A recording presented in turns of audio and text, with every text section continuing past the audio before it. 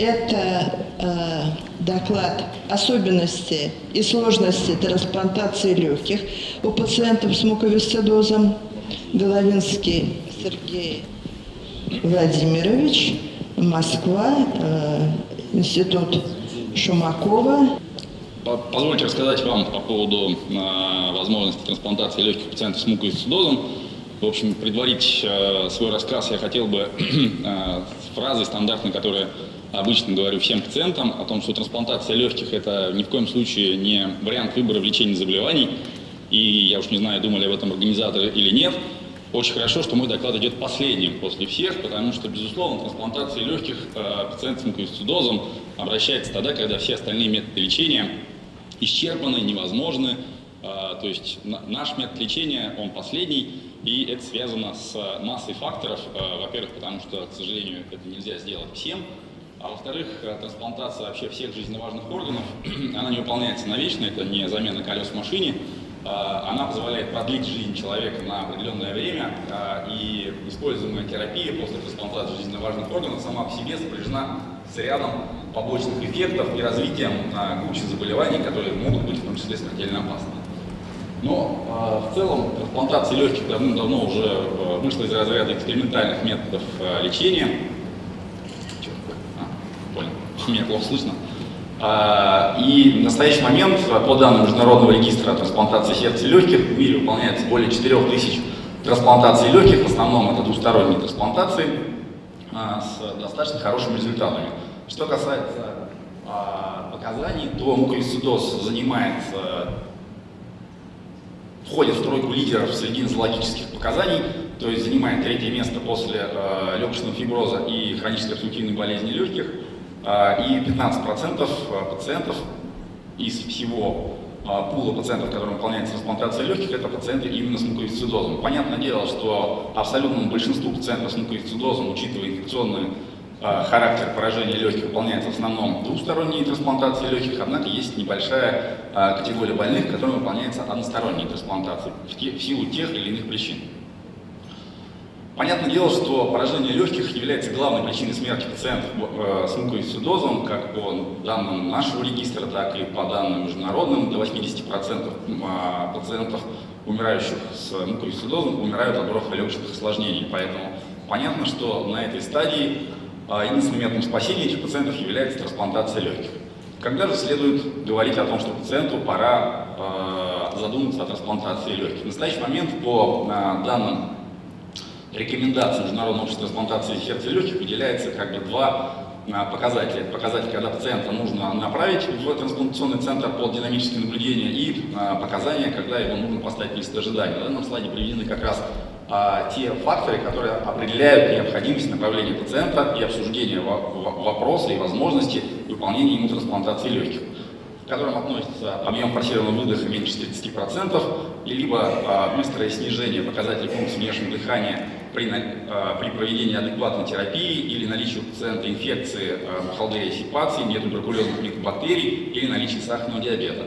Низкие показатели функциональных резервов, оцениваемые тестом 6-минутной ходьбы, наличие пациента легочной артериальной гипертензии, даже в условиях отсутствия артериальной гипоксемии, либо частые эпизоды обострений, требующие проведения неинвазивной вентиляции легких или частой госпитализации. Что касается показаний к включению в лист ожидания, то обязательно у пациента должна быть хроническая дыхательная недостаточность, либо изолированная гипоксемия, либо в сочетании с гиперкапнией, потребность длительной неинвазивной вентиляции легких, наличие легочной артериальной гипертензии, частой госпитализации, то есть больше а, и чаще, чем каждые 2-3 месяца, и быстрое снижение показателей функции внешнего дыхания. А что касается нашей страны, то трансплантация легких у нас в России, конечно, не так активно а, развита, как в, в целом мире. А, однако сейчас уже можно четко говорить о наличии стойкой тенденции ежегодного выполнения количества операций и небольшого, но прироста этих операций, появлением, надеюсь, новых центров, которые будут заниматься этим. Ну вот в настоящий момент представлены э, данные нашего регистра э, по трансплантации. В прошлом году было выполнено 25 трансплантаций легких. А, на слайде представлен опыт э, института, который я представляю, институт Шумакова. По трансплантации легких в настоящий момент выполнено у нас в институте 43 трансплантации легких. Из них абсолютное большинство это пациенты с муковисцидозом. Участок, 12 пациентов, среди них в том числе был, был один ребенок 12 лет, ребенок из Санкт-Петербурга. На слайде представлена суммационная, скажем так, информация о наших пациентах, 12, которым была выполнена трансплантация легких, желтым цветом выделен как раз э, ребенок. А, в общем-то, из особенностей, э, которым, собственно, и посвящен мой доклад, все они следуют из той информации, которая представлена на, слайд, на данном слайде. Так, абсолютное большинство пациентов э, находились с белковой энергетической недостаточностью, с катексией и требовали в предоперационной подготовке в виде коррекции нутритивного статуса. У нас, в общем-то, в этом плане э, разработана технология установки э, гастростом функционных и коррекции масс тела, что достаточно эффективно у абсолютного большинства пациентов было достигнуто. У пациентов после трансплантации легких почти у всех, за исключением двух в настоящий момент, гастростомы были удалены, потому что, соответственно, после трансплантации у них нет, э, скажем так, такого, того катаболизма, который присутствует до, и э, коррекция масс тела с помощью э, ночной гипералиментации уже не требуется. Второй особенностью является то, что мы, в общем-то, не отказываем пациентам, имеющим хроническое инфицирование бухалдерий сипаций, а, и в настоящий момент, в общем-то, все пациенты, к счастью, живы, никто не умер. В общем-то, не знаю уж благодаря чему, надеюсь, что благодаря нашим заслугам. А, я об этом чуть позже скажу. В общем, то, о чем я говорил, это нутритивный статус. А, много по этому поводу написано. В настоящий момент мы четко придерживаемся правила о том, что если пациент поступает к нам с индексом масс тела менее 16, то мы либо предлагаем ему гастростому, либо отказываем ему в постановке в лист ожидания. Это произошло, скажем так, то при принятии в абсолютной форме а, после того, как э, мы полечили пациента, который, в общем-то, пошли у него на поводу с индексом масс тела 16,5, мы не поставили ему гастростому, и э, на фоне фульминантного ухудшения мы забирали его уже из стационарной трансплантацию с индексом масс тела в районе 14. В итоге он у нас чуть не помер, общая суммарная продолжительность его госпитализации после трансплантации составила почти 100 дней, а он пережил три сепсиса и, в общем, так сказать, а, не благодаря, а вопреки, выжил и выписался. В настоящий момент никаких разговоров в этом отношении не ведется. Если индекс массы тела меньше 16, мы в обязательном порядке пациенту ставим гастростому и ждем, когда коррекция массы тела будет достигнута, и только после этого ставим его в лист ожидания. Ну, в качестве иллюстрации представлен пациент а, с нутритивным статусом. Вот так сейчас пациент выглядит уже после трансплантации, в общем, чувствует себя замечательно, ходит в э, спортзал. А, также особенностью и сложностью трансплантации легких пациентов с муковисцидозом является баланс антибактериальной иммуносупрессивной терапии. Понятное дело, что трансплантация легких, трансплантация а, других жизненно важных органов, это а, сопряжена с необходимостью проведения иммуносупрессии. А у пациентов с муковисцидозом, имеющих а, отдельный микробиологический пейзаж, а, у многих из которых э, антибиотикорезистентность, в общем, так сказать, открывает, как говорит Станислав Александрович, безграничные возможности проведения антибактериальной терапии, а, обуславливает определенные особенности проведения им иммуносупрессивной терапии, которые, в общем, а, имеют представление в литературных данных, однако мы используем несколько свой протокол, обуславливающий применение иммуносупрессантов в определенной последовательности. Ну, я не думаю, что стоит э, сейчас об этом говорить. Безусловно, мы используем а, весь спектр антибактериальных препаратов, как внутривенных, так и ингаляционных, а, в том числе и длительное применение, в том числе и впускаемся в всевозможные тяжкие, так сказать, последствия применения комбинаций препаратов, а, двойных карбопленных препаратов, используем препараты off-label ингаляционно и так далее. Но это, благодаря этому мы, удается не получить инфекционных осложнений в раннем послеоперационном периоде и в дальнейшем в том числе.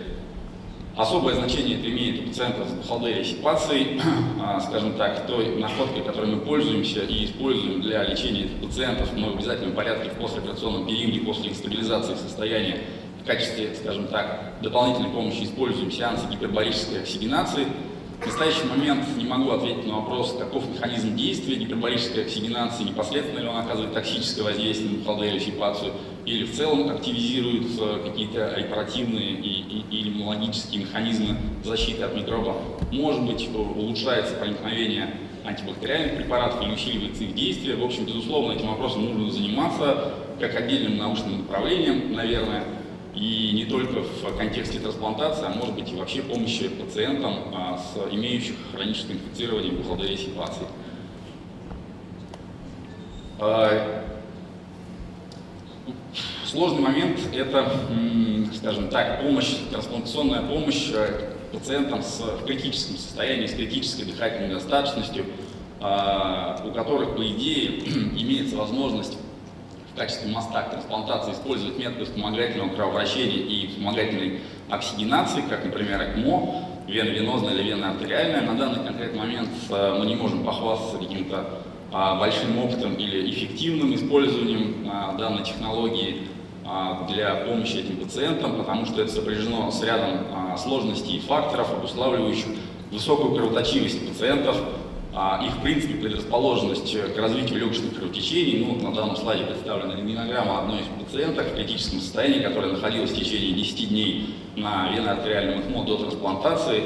У нее было профузное легочное кровотечение, которое случилось, в общем-то, на третьей сутки применения ЭКМО. Единственным способом борьбы с этим кровотечением было то, что мы просто закрыли э, трахеостомическую трубку для того, чтобы кровь, в общем-то, не выливалась. И она полностью жила за счет работы вспомогательного метода кровообращения и оксигенации. К несчастью, пациентка умерла после трансплантации, потому что это было сопряжено с массой проблем, как интраоперационно, так и в раннем послеоперационном периоде. Но в целом, говоря о выживаемости пациентов после трансплантации легких, нужно сказать, что у пациентов с муковисцидозом демонстрируют и лучшие результаты после операционной выживаемости, после трансплантации легких, медиана выживаемости пациентов с муковисцидозом достигает 10 лет. А, и вот на слайде, в общем, так сказать, стрелочками показано, что 10-летний промежуток э, после трансплантации переживает 50% больных. При том, что медиана выживаемости для пациентов с другими нозологическими формами составляет около 5-7 лет. А результаты э, наши сопоставимы с э, результатами регистра Международного общества трансплантации сердца и легких. Спасибо за внимание. Готов ответить на ваш вопрос. Сергей Владимирович, большое спасибо. Есть ли вопросы?